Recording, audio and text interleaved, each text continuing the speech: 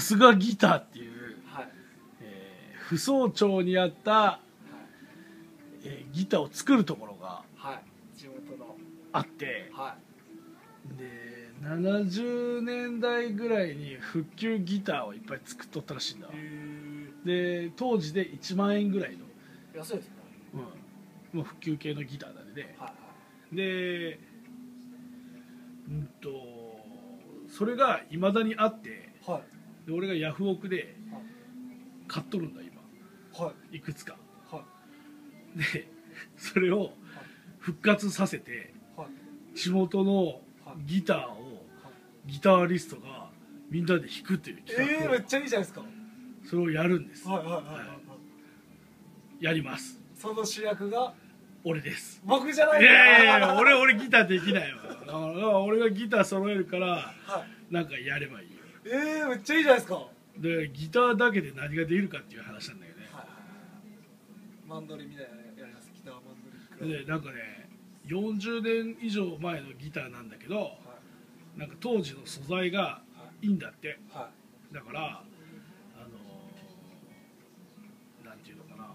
今でもいはい。物はいいんだってさ。へえでなんか枯れた音色がすごいいいですなんかそのアコースティックギターっていうのよくわかんないけどヴィンテージものを作ろうと思って作られたギターじゃないんだけどだけどなんか生き残ってるギターは結構いい音がするらしい。えー弾いてみたい。なんともうすでに3つ、マジですか？え落としたんですか？ー、3つ落札しました。マジですえいくらですか？これを俺今水面下でやってて俺があんまりこういうのを騒いじゃうと、はいヤフオクがこう値段が上がってしまうかもしれない。ねちなみに1個1台っていうのはあれ1個っていうのに一本ですね。1本？1本1500円です。えー、めっちゃ安い。一番安いので3500円ではなんか2本とか。いはい。うん。で今入札したのが1500円スタートのやつがあったりとか、は安いんだけど40年前のまあ俺よりも俺が生まれる前のギター。そうですね。すげえ。どう？欲しいです。いやいやお俺俺が俺んち置いとくから、い。まあ持ってってもいいんだけど別に、やっためっちゃ欲しいハードケース付きですよ。本当ですか？あそれハードケースで普通1500円しますからね。あそうなの、はあとはメンバーを集めないと。いそうですね。吉間も仲間にいる吉間ギターできるそうですそうで。すえー、いいですねでも。何やるのギターだけだったら。ギターだけなんかもうインストバンドみたいなのやりますか？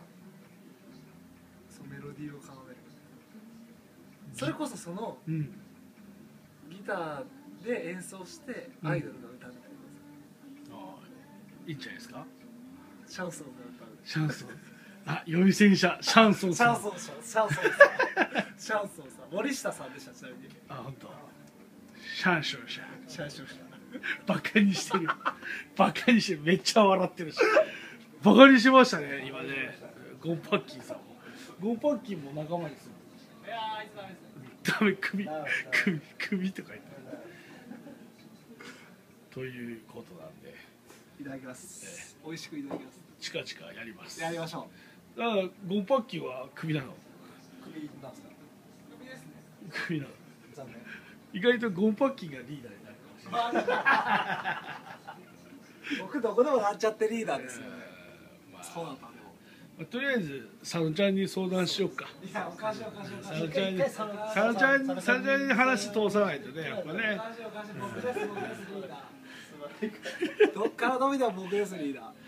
そうだったのリーダー。コシノです。リーダーは。コッシーでリーダーは暇そうです。すいや暇じゃゴない。でールデンウィーク中暇そうでジャンプが合併号になっちゃって来ちゃいました。す2223ですか？合体しちゃってからさ今週暇なんだよねとか言って来ちゃいました。おしまい